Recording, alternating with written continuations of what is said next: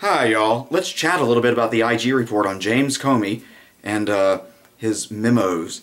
So, uh, in a couple of videos over the last few years, I've mentioned that uh, Trump is not, in my view, more dishonest than your average reporter, uh, than the news media is. I think one of the reasons they're upset with him isn't because he's dishonest, it's just that he's not very sophisticated about how he, you know, spins a tale. Just whatever goes through his mind comes right out, or as uh, Senator John Kennedy puts it, Trump is uh, uncomfortable with an unexpressed thought that goes through his head. So whatever goes through just comes right out of his mouth. Uh, the media tends to be much more sophisticated in how it misleads. It'll say something in order to mislead people that is factually true, so that way if you call them on it, they can say, well, if you look at what we said, it's actually true. Nevertheless, it will cause a person to believe the exact wrong thing, which is precisely why it's worded in the way that it's worded. So on the uh, the, re- the release of the report, um, CNN has uh, this guy named Elie Honig, however you pronounce his name, who wrote for them talking about that this is an example of, or this uh, report is a no nobody wins. It doesn't vindicate Trump, and it uh, the only thing it really does to Comey is say, you know, you violated departmental policy, naughty, naughty. Uh, this is not true. This is actually a win for the president. Uh, and it's not very good news. I mean, it's good news for Comey that there doesn't seem to be an indictment coming but uh, you know that's just because the prosecution was declined. So I have uh, had a number of people tell me, and I've seen it said uh, between other people in conversations I've observed but haven't participated in, that the OIG report, the Inspector General's report, uh, does not find that uh, that Comey violated the law, that Horowitz doesn't believe he violated the law, that uh, he wasn't prosecuted by OIG because he didn't violate the law. Variations on that theme. Uh, one of them, uh, the CNN guy I just quoted a little while ago, is a former prosecutor, so he knows what he's saying here is an absolutely uh, blatant misrepresentation of reality. But I'll just go ahead and read it, and then we'll get back to the, the meat of the issue.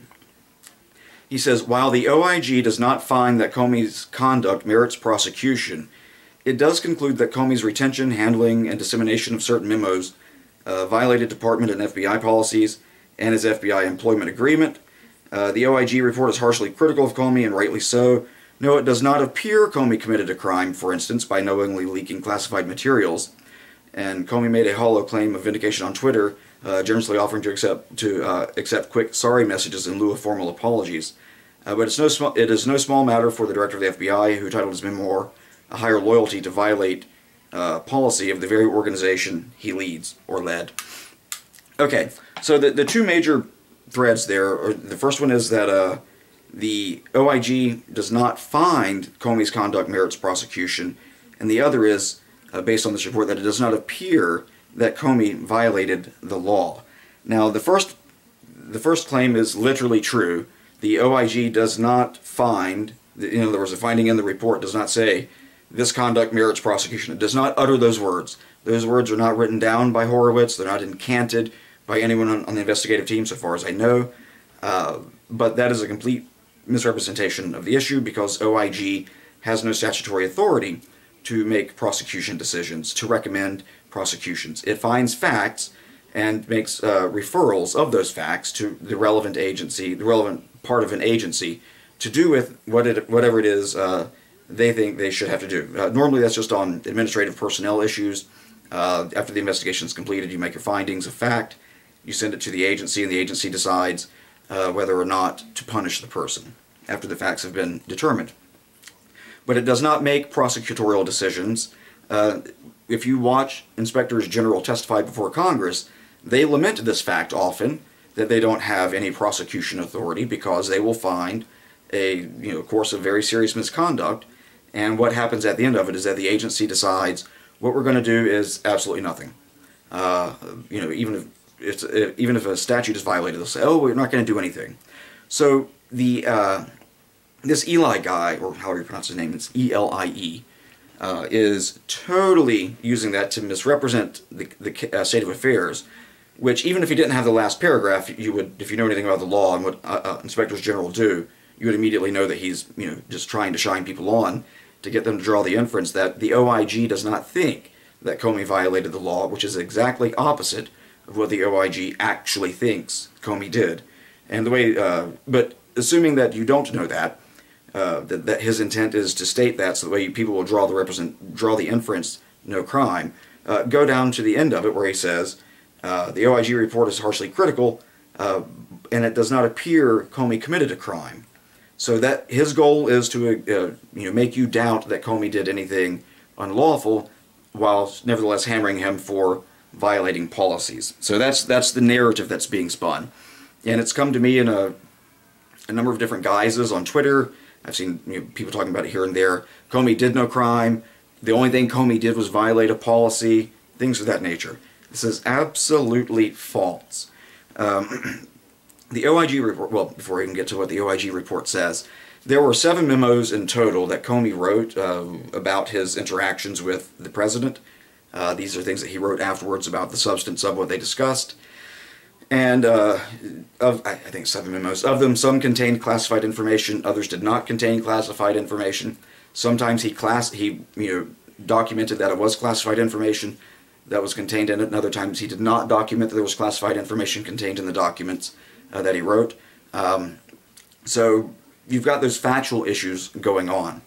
I.G. Horowitz and his team looked through all of this, and they uh, they set out the timeline very carefully as to how you know when Memo One was written, when Memo Two was written, right on down the line, uh, to whom they were distributed, both within the government and without the government, uh, his classification markings uh, and his failures, his failure to uh, classify classified material as classified. So they go through all of that, and it's uh, it's very interesting. Uh, there's seven memos now. Before I touch on these memos, in previous videos I've talked about how in law enforcement, if, when you watch television programs or the movies, what the investigators seem to always be after, the holy grail of, of uh, police work, is getting a confession from a defendant or a suspect. That's not true, uh, as I've mentioned. It's, of course, good to get a confession. I mean, you know, if a person's willing to give one, then by all means take it. I mean, that's it's good evidence. But a person who confesses always has the argument in court that he was coerced by law enforcement. He was pressured unduly by law enforcement to falsely confess to a crime he did not commit juries will sometimes believe that and they'll discount the uh, the confession and find uh, uh, not guilty. So what you really want to find, like the holy grail of uh, an investigation where you're interrogating someone, is when they make a false exculpatory claim. That is, whereas in the one case they could be pressured into lying to say they're guilty to make the police stop abusing them, and people get that argument. This is the case where they're lying without being pressured to lie in order to make themselves look like they are innocent. And once a person engages in that conduct of telling a lie uh, to cover up their bad conduct, juries tend to look very uh, not the juries tend not to be very friendly to false exculpatory uh, claims of that nature, and they say, well, you know, and all when he didn't have to lie, he could have pled the fifth, whatever you know, whatever happens to be. This guy decided to, tell a lie in order to throw people off. He decided to withhold information that he was required to uh, disclose, or whatever it is, in order to make himself look like he was the good guy. That's exactly what Comey did, and it's laid out very carefully in I.G. Horowitz's report. And you don't have to go far into the report on this. I've had a number of people who haven't obviously read the report say to me things like, uh, well, have you read the report? If you did, you'd know that the IG doesn't find that he committed a crime, things of that nature. It's like, well, I have read the report. You obviously haven't. And uh, the way I know you haven't is because on page two and three, it's uh, what you're saying is not quite true. Uh, you, you, don't need to really get into the weeds to figure out where it is. It's not hidden in some footnote on page 62 or something. It's page two and page three, and then a little bit later on you get into the uh, the timeline. So the Elie Honig guy who was writing for CNN that uh, OIG did not find that what Comey did merits prosecution, and that it does not appear that Comey committed a crime incident to the IG's report. There is a statute, uh, we have a number of these things in, in, the world called statutes, and they set out uh, some, some uh, require you to do things, like you must pay your taxes, so those are ones that coerce you to take some action. And then you have others that say you may not do this. They coerce you to not take action. They say you must abstain from doing this in our judgment, bad thing. Federal agencies, on the other hand, uh, have more extensive rules than are contained in the United States Code. Uh, there's the Code of Federal Regulations, uh, and there are also internal policies for administrative matters and whatnot. And their internal their internal operating procedures will have a lot of do's and don'ts. And the don'ts, or the do's, are very, they cover at a minimum what are the statutory requirements. You must do this within this amount of time. You may not do this, like there's a uh, departmental policy against sexual harassment, it's not simply that it's a policy against sexual harassment, it's that the law prohibits you from doing that. You may not ask these types of questions because the law prohibits you from asking these types of questions. You may not disclose this information because the law says you may not disclose this information. So it's not enough to say that he, he violated uh, policy, therefore no crime. That's not true. Very often the policy is what it is because a statute compels that behavior or uh, you know, whether it compels you to do something or to abstain from doing something.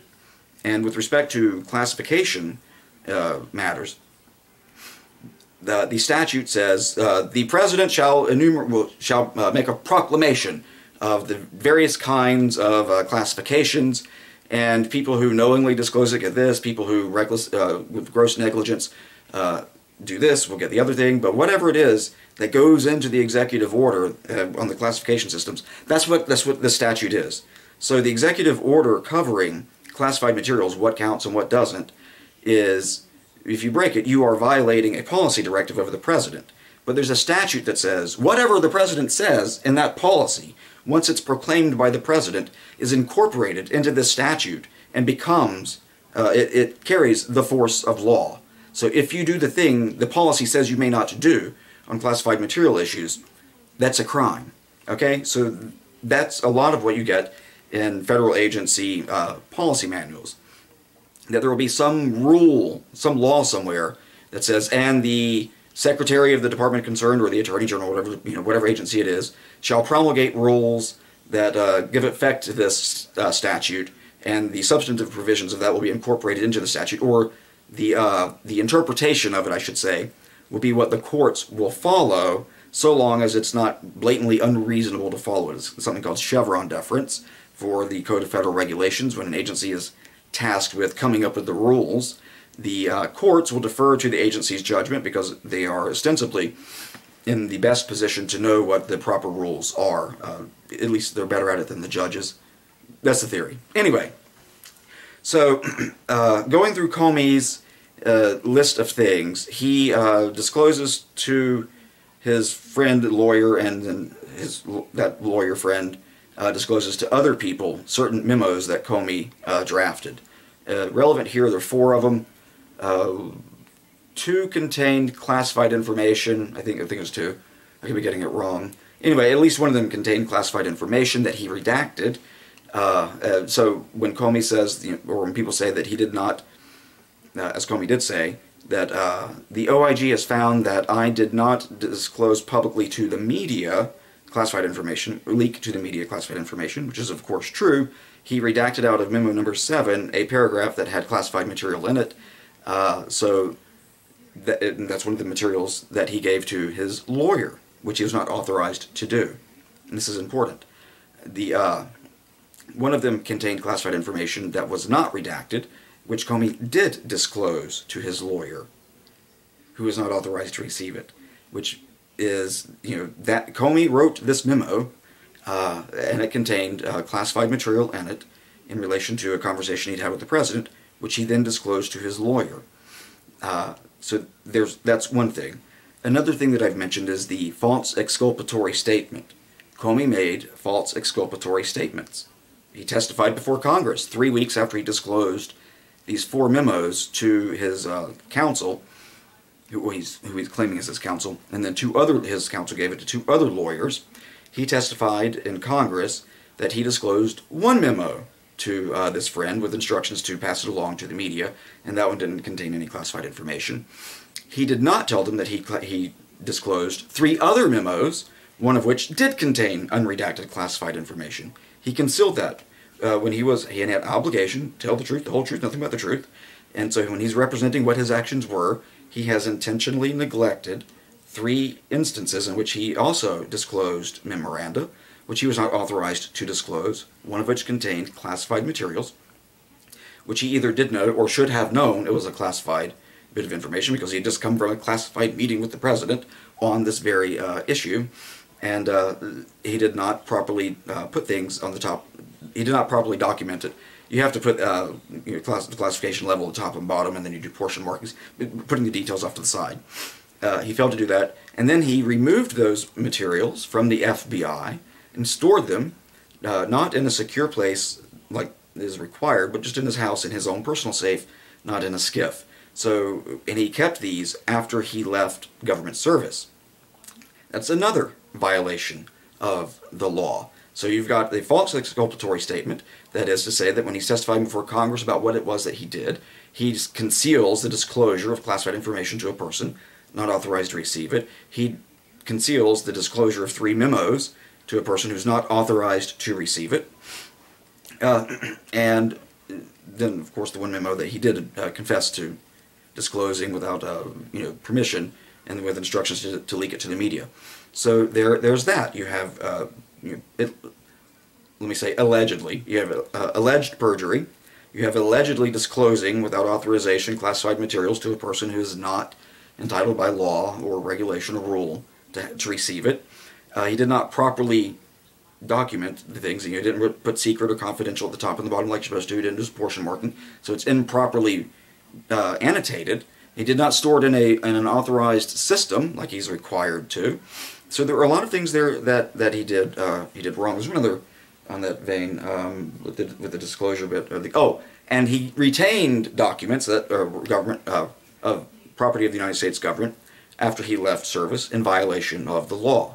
Now, what does this all mean? Well, you go read, I think, page two of the uh, IG's report. It could be page three, but I think it's page two. And it says that uh, the matter was referred to the Department of Justice, which declined to prosecute. Whenever you see that, that an issue is referred to the Department of Justice, which declined to prosecute, in in the body of an inspector's an inspector general report, that language is there for a reason, and it's because there's a there's a statute of which we have many. It's Title Five. It's a, an appendix to Title Five of the U.S. Code.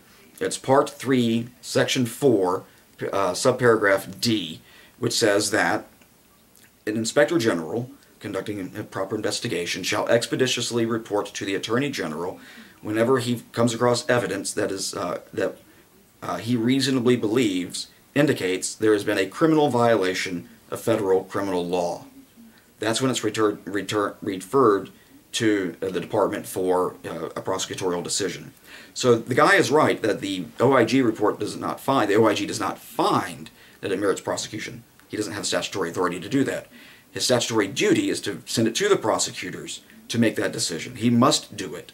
So whenever, uh, so it's true, the IG did not do what he's not authorized by statute to do.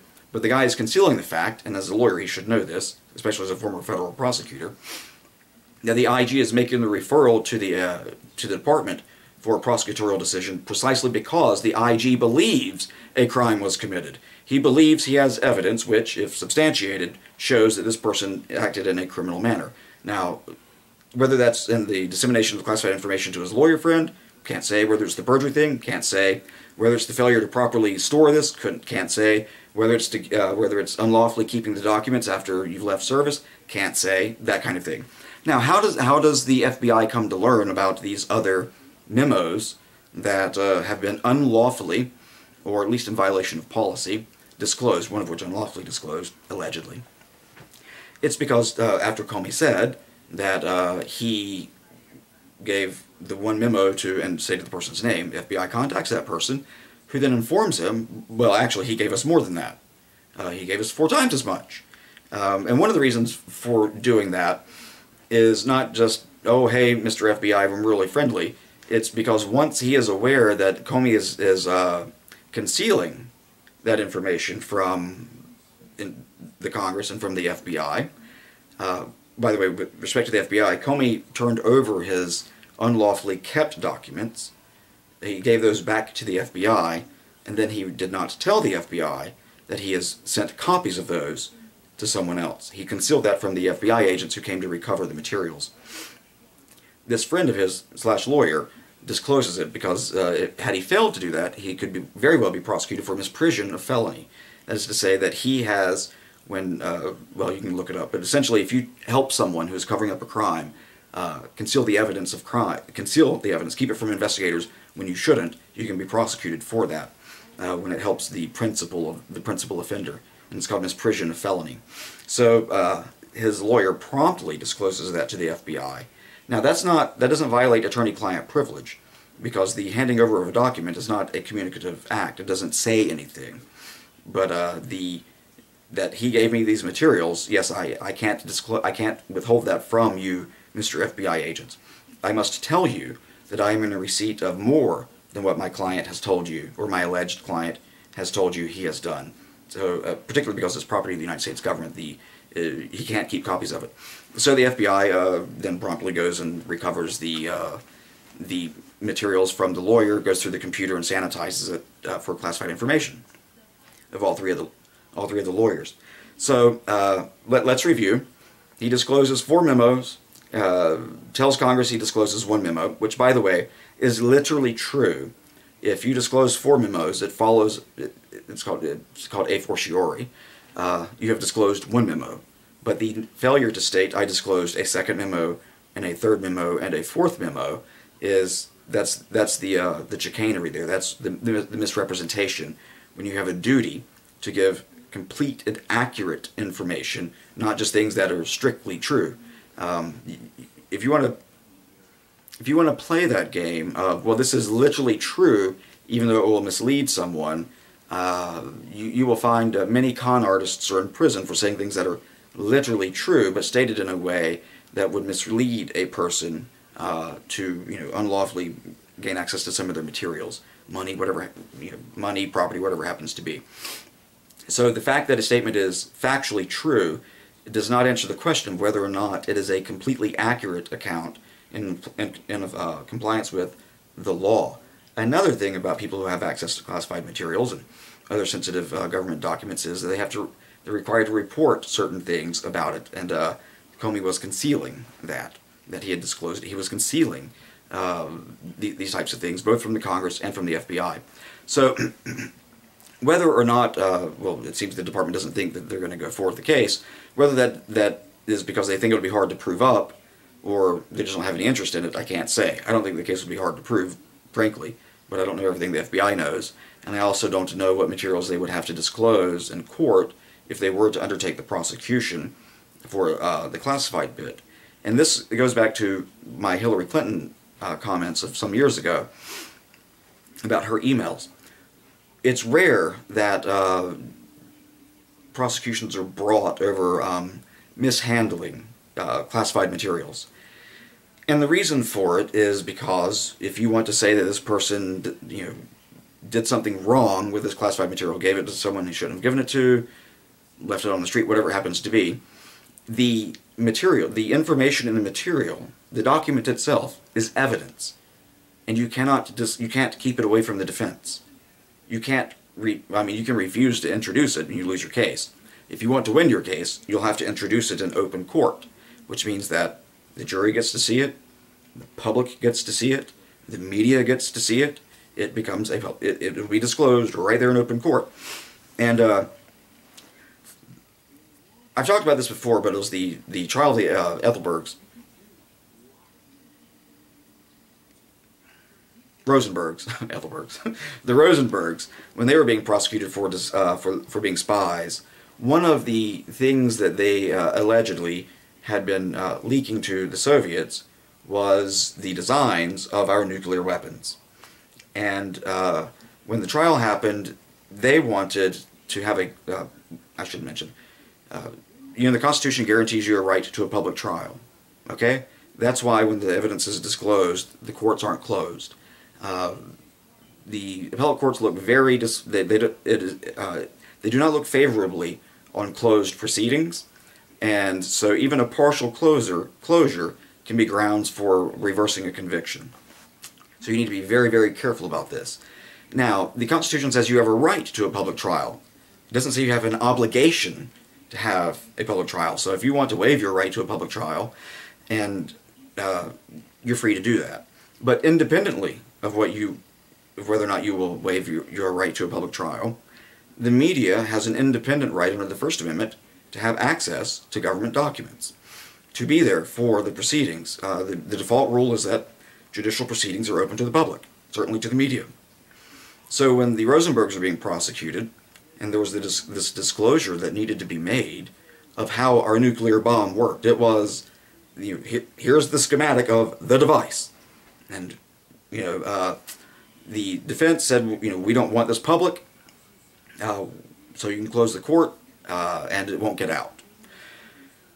The media says, not so fast. They may not want a public trial, and the government may go along with their not wanting to have a public trial, but we have this independent right to be present. And so the long and the short of it was that the, uh, the argument from counsel that the media should be excluded was rejected. The government's argument that the media be uh, gagged was rejected. That they had been enjoined not to disclose any national secrets, that was rejected. The judge, the judge's injunction to the media with respect to how our nuclear bomb worked was, I will enjoin them to good taste or good judgment. I will not enjoin them to silence. And they, so he says, media people, Soviets may or may not have this. I don't know. I think they do. Possibly not. Whatever. I can't say.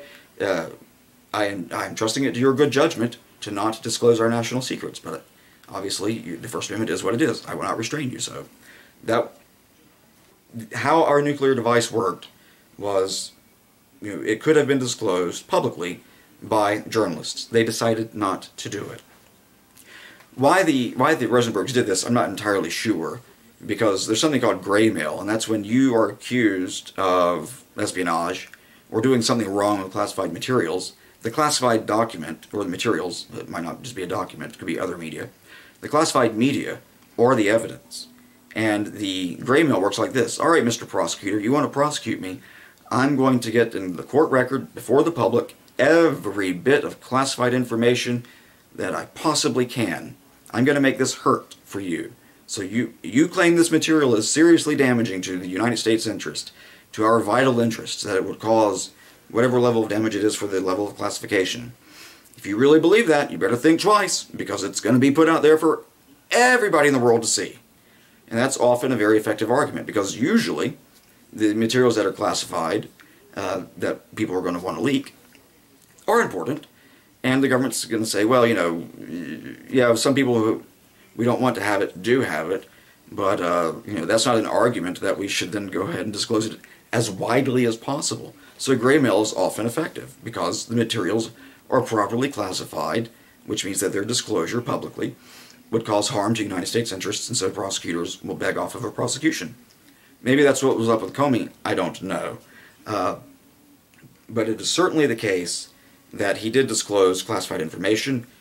Now, in contrast to the uh, Hillary Clinton issue, Comey wrote these memos. These aren't things that got forwarded to him or sent to him, which he forwarded along or replied to, and may have missed something because they weren't properly, you know, they didn't have the proper headers and all the, you know, the markings that you're supposed to have.